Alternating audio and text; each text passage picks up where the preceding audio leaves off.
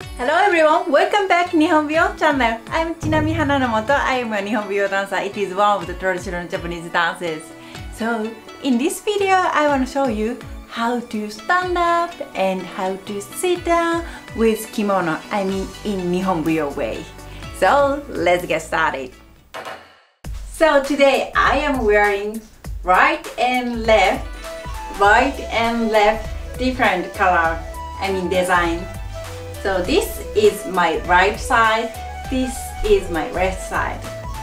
So let's do that. はい、では座り方です。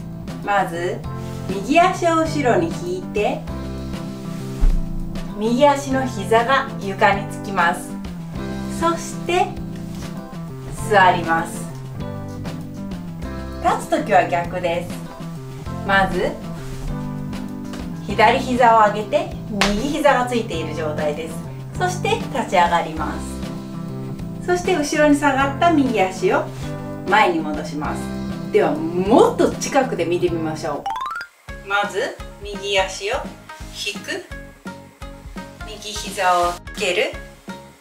左膝をつける。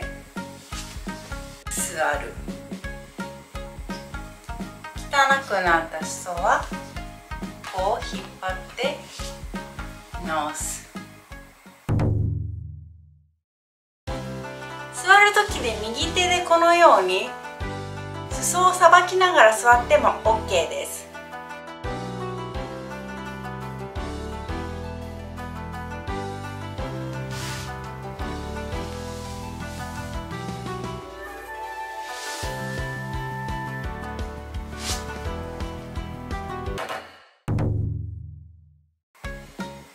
立ち上がる時はまずお尻をつける。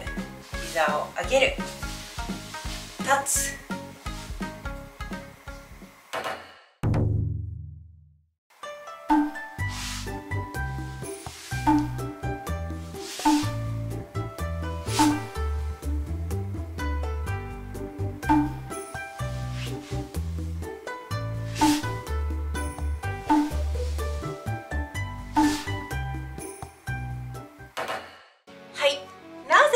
右足を先に引くかというと右の膝で着物の裾を押さえているからです。左膝を先に引いた場合は右膝がこう上がってこのようにめくれてしまいます。これは良くないので右こちらの右側の膝で押さえて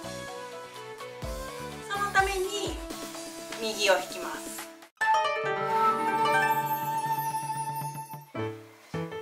一、二、三、四、一、二、三、四です一、二、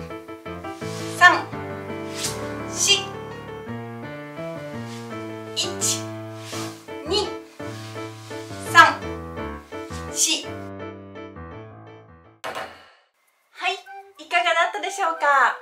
おそらくいろいろな流派や地域によってスタイルは異なると思うので絶対にこれじゃなきゃいけないというのはありません。なのであまりストリクトにならなくても大丈夫です。ただ右から引いた方が着物が崩れにくいということでこのルールがあります。私のスクールに通っている生徒さんはすでにご存知のことかと思いますが私のスクールではこのような基本的なことも皆さんに教えております。もしぜひ興味があったらグループレッスンクラスが8月22日から開催されます。そしてプライベートレッスンクラスは一年中いつでもやっております。これらどちらに受けていいかわからない人はぜひ私の20ドルのトライアルクラスを受けてみてください。そして8月5日と6日には無料のトライアルレッスンも開催します。詳しくはホームページをチェックしてくださいね。そしてご存知の方もいると思いますが今はスペシャルな特典がついていてグループレッスンクラスを購入してくれた方には2回30分のプライベートレッスンがついてきます。そしてプライベートレッスンクラスのパックを購入してくれた方には何か日本舞踊のアイテムをプレゼントしております。